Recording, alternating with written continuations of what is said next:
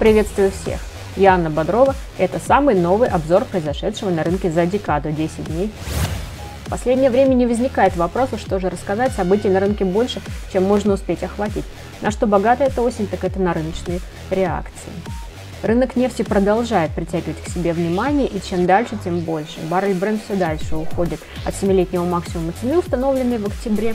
На этот раз причина вполне реальная, серьезная. США готовы заниматься проблемой ликвидации дефицита предложения нефти в мире. К решению вопроса Вашингтон уже притянул Китай, Японию и Индию, и такой компании вполне реально убрать с рынка недостаток предложения, который держит цены на нефть достаточно высокими.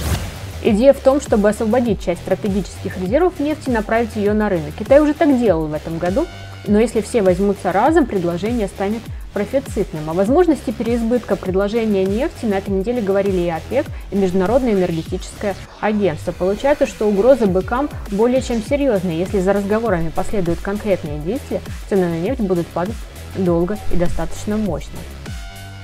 Пока техническая картина говорит о том, что баррель бренд будет цепляться за 80 долларов сколько сможет. Ближайшая значимая поддержка стоит на уровне 78, под ней 76.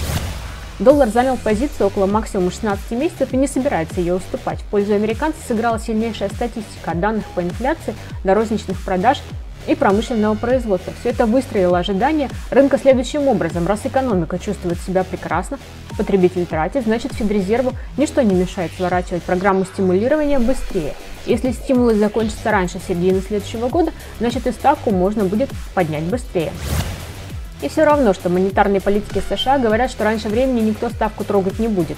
Рынок считает иначе. Сейчас доллар торгуется у максимума 16 месяцев в паре с евро и в целом выглядит Отлично. В криптовалюте, как говорят в социальных сетях, все сложно. От максимума 10 ноября рынок отошел довольно далеко. Биткоин упал почти на 17%. Падает эфир, ключевые альткоины, причины для этого есть. Согласно новым требованиям в Соединенных Штатах, криптовалютные брокеры-операторы обязаны будут отчитываться о сделках в цифровых активах на сумму более 10 тысяч долларов. Сведения жаждет получить налоговая служба. Это существенно испортило настроение участникам рынка. Во-первых, под вопрос ставится основной аспект мира криптовалют – децентрализация и приватность. Во-вторых, одна эта мера способна вывести на свет основную часть криптовалютного мира. Не думаю, что это кого-то порадует. Кроме того, на крипту давит Китай. Он вынес предупреждение государственным предприятиям из-за майнинга. Тем, кто пробует игнорировать мнение власти, будут повышены тарифы на электроэнергию или вынесены многотысячные штрафы. Цена биткоина находится в ценовом диапазоне от чуть более 58 тысяч до 60-800 тысяч долларов. Покупатели изо всех сил держат оборону около психологического уровня в 60 тысяч долларов на фоне общего ослабления доллара. Участники рынка ожидают любого триггера для движения, как минимум в 5%. Текущий флэт по ценовой структуре схож с флетом 10-15 ноября, и разница только в продолжительности. Сейчас он формируется в два раза быстрее.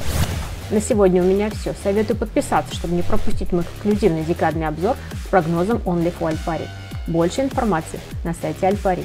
Ссылка в описании. Увидимся через 10 дней. Пока.